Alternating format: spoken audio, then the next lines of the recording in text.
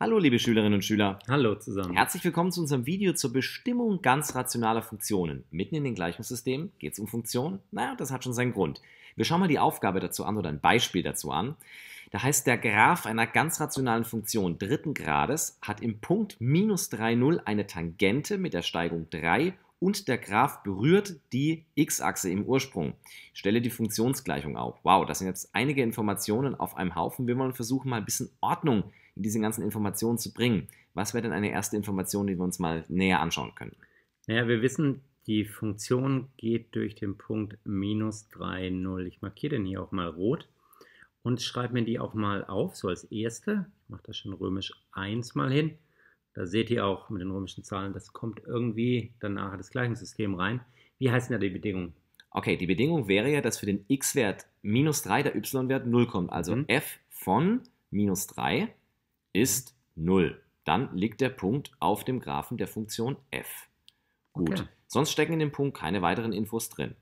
Das nächste wäre, es gibt eine Tangente mit der Steigung 3 Jetzt könnte man sich fragen, wo soll die denn bitte sein? Aber das hängt noch mit dem Punkt vorher zusammen, denn die Formulierung ist ja, hat im Punkt P minus 3,0 eine Tangente mit der Steigung 3. Gut, Tangente hat immer mit welchem Teil der Funktion zu tun? Na gut, Tangente mit der ersten Ableitung. Und wir wissen ja, die Steigung ist 3. Also wir wissen f', also die Ableitung, an der Stelle minus 3. Am x-Wert des Punktes mhm. hat den Wert 3. Also f' von minus 3 ist 3. Gut. Gut, schauen wir weiter. Was gibt es denn noch für eine Bedingung? Ja, wir wissen, der Graph berührt so im Ursprung die x-Achse. Das können wir mal alles so markieren. Okay, da steckt auf jeden Fall die Information drin, wenn er die x-Achse berührt im Ursprung, dass er an der Stelle x gleich 0 auch den y-Wert 0 haben muss. Genau, das ist oft irritierend, da steht irgendwie viel Text noch dahinter, aber das Wichtigste ist erstmal, er geht überhaupt durch den Ursprung, das können wir ja auch notieren, wie du schon gesagt hast. Also f von 0 ist 0. Ja gut, und dann haben wir doch eigentlich alle Bedingungen, oder? Nee, eine fehlt noch. Das berührt ist schon noch wichtig. Ähm, wie können wir uns das vorstellen, wenn die im Ursprung die x-Achse berührt? Ah, das hatten wir schon mal. Denn wenn mhm. sozusagen etwas nur berührt wird und nicht schneidet, dann hat es entweder so diese Form hier oder diese Form hier, also eine Parabel, die sozusagen an der x-Achse berührt. Und wir wissen, an diesen Stellen hat eine Funktion immer einen Hoch- oder einen Tiefpunkt. Okay, hier auch grafisch dargestellt. Zwei Stellen, an denen berührt wird. Links sehen wir, hat die Funktion an der Stelle einen Tiefpunkt. Rechts hat die Funktion an der Stelle einen Hochpunkt. Also immer wenn berührt wird, hat man einen dieser beiden Fälle. Und was steckt denn da jetzt noch für eine Bedingung mit drin? Naja, ähm, beim Hoch- und beim Tiefpunkt ist ja die Steigung an dieser Stelle 0. Das heißt, die Ableitung f' an dieser Stelle, also hier an 0, ist 0.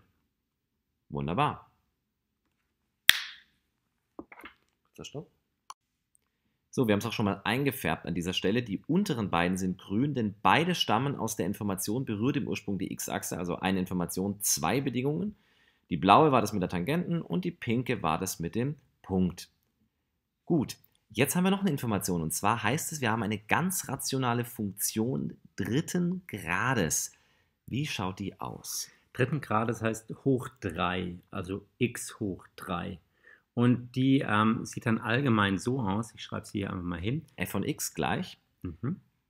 ax hoch 3. Genau, denn vor dem x hoch 3 kann natürlich noch irgendeine Zahl davor stehen. Irgendein Faktor. Mhm. Plus bx Quadrat mhm. plus cx. Mhm. Und nicht vergessen, es kann auch einen Konstantensummanden geben, plus d. Und unsere Aufgabe, um die es in diesem Aufgabentyp geht, ist nämlich herauszufinden, was sind denn diese vier Buchstaben, damit da sozusagen wirklich eine ganze Funktion daraus wird. Genau, und dazu nutzen wir diese vier Bedingungen. Wir sehen in 2, nämlich in Römisch 1 und Römisch 3, brauchen wir die Funktion. Und in Römisch 2 und Römisch 4 brauchen wir die Ableitung. Also sollten wir die erstmal bilden.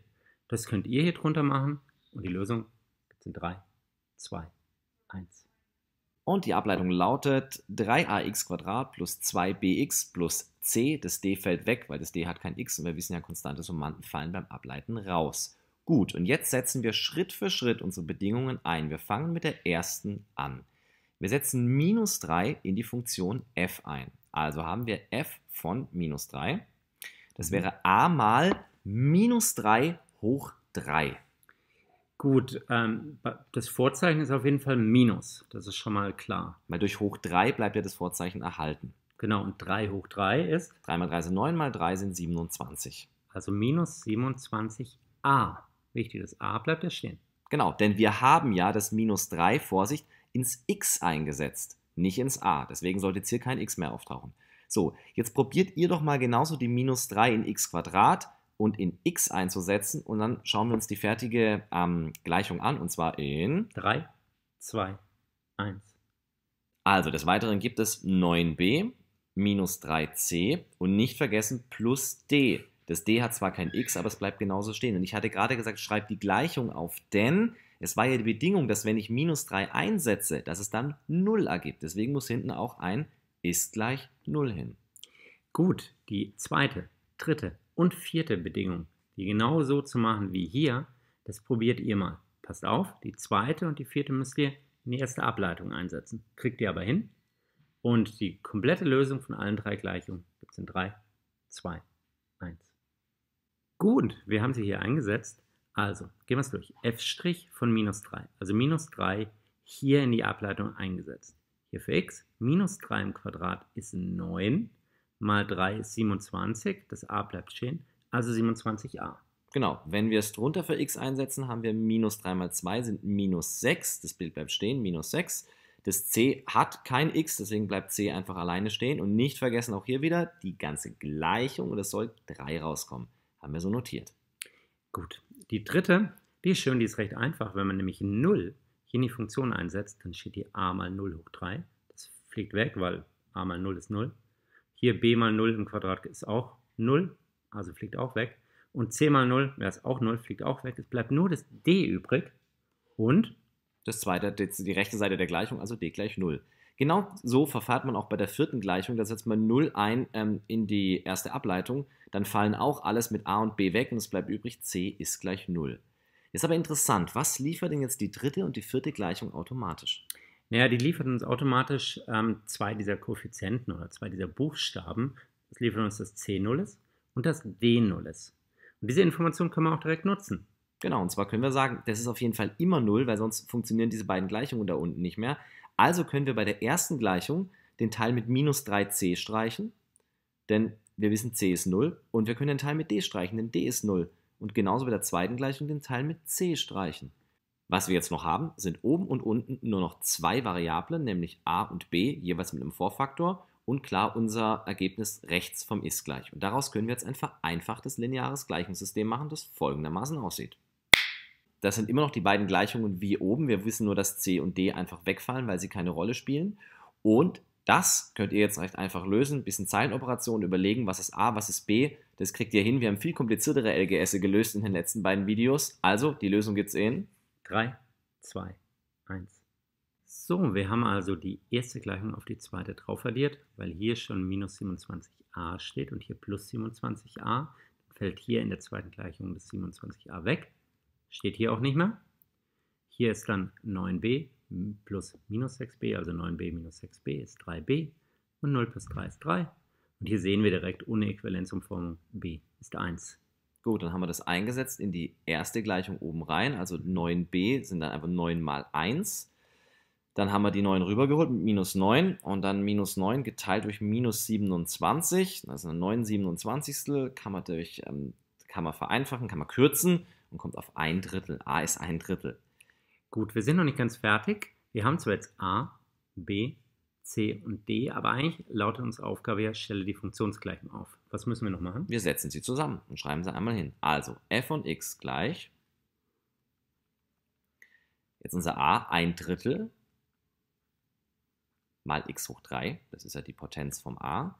Dann kommt es b, das ist 1, also plus einmal, da müssen wir gar nicht hinschreiben, sondern direkt x Quadrat den Faktor 1 lässt man ja immer weg. Mhm. Plus, Achtung, jetzt käme cx, aber c ist 0, lassen wir weg. Dann käme plus d, d ist 0, lassen wir auch weg. Und dann ist das hier unsere Funktionsgleichung. Und dann sind wir auch schon fertig mit der Aufgabe. Und wir haben jetzt in der Aufgabe gesehen, dass es hier sozusagen so ein paar Schlagwörter gibt. Und diese Schlagwörter kann man irgendwie übersetzen in mathematische Gleichungen. Und es gibt nicht nur die hier, sondern noch ein paar mehr. Das gucken wir uns jetzt im Allgemeinteil gemeinsam an.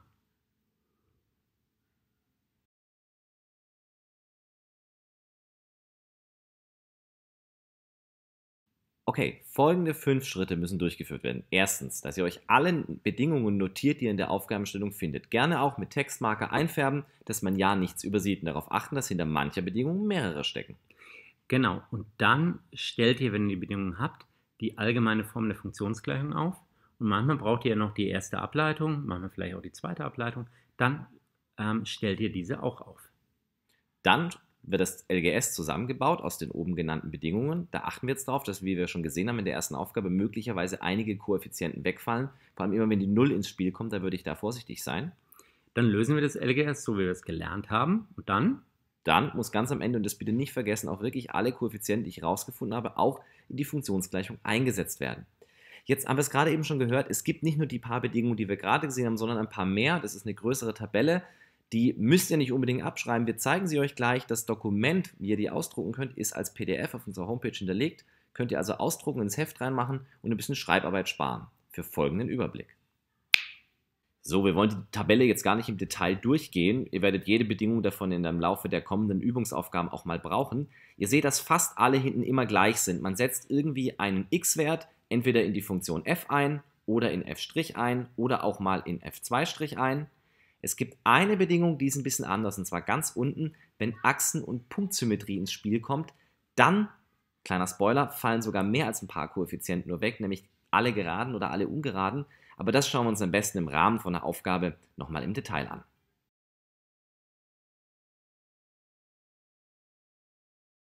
So, hier wäre ein Beispiel, und zwar der Graph einer ganz rationalen Funktion höchstens dritten Grades ist achsensymmetrisch zur y-Achse, hat eine Nullstelle bei x gleich 2 und schneidet die y-Achse bei y gleich 5. Stelle die Funktionsgleichung auf. Gut, zunächst mal müssen wir uns überlegen, welche Bedingungen sind denn gegeben? Gut, also wir gehen stur nach dieser Tabelle vor, die wir auch gerade im allgemeinen Teil gehabt haben. Und da hatten wir ja drin achsensymmetrische zur y-Achse. Das sehen wir hier auch. Das markieren wir jetzt mal wieder in einer Farbe.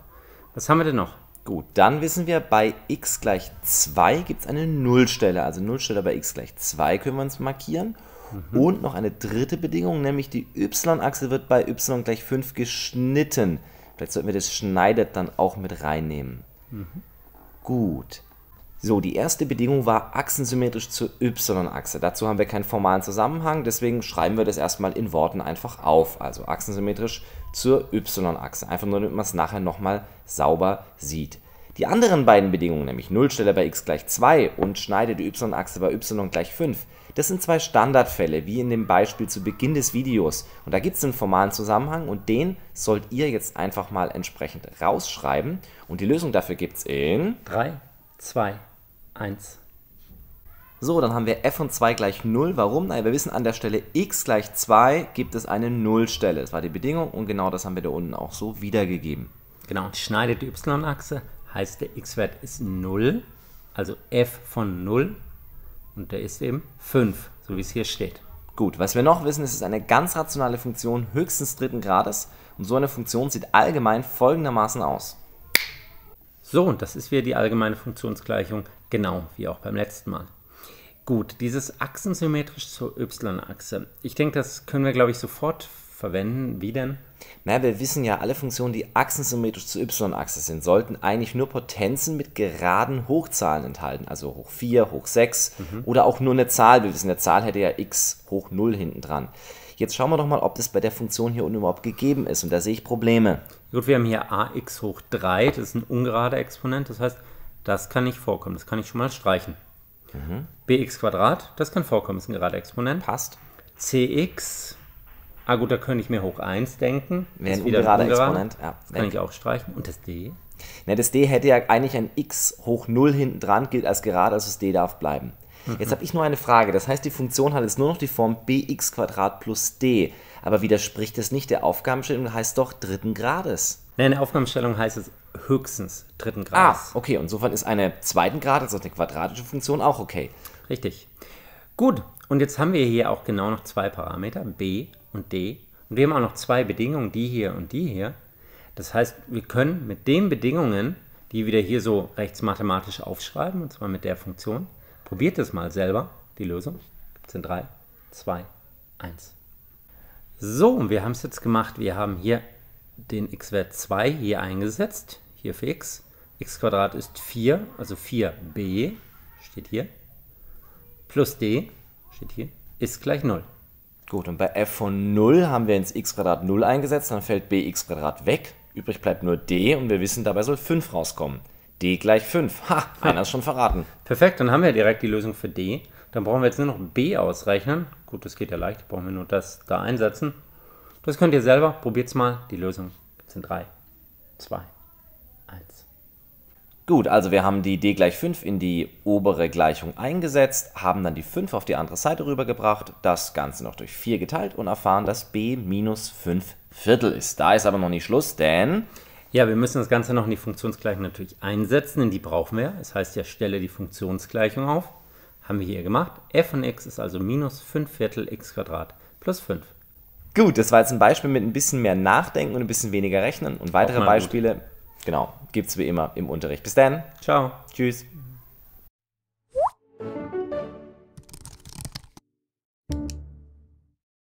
Hey, wir sind's nochmal. Und zwar haben wir noch zwei kleine Tipps für euch. Der erste Tipp wäre ein Video, was hervorragend zu dem aktuellen Video passt. Und vielleicht habt ihr ja noch nicht unseren Kanal abonniert, dann würden wir euch empfehlen, macht das, dann werdet ihr immer informiert, wenn es ein neues Video gibt. So, das war's jetzt aber wirklich. Ciao. Tschüss.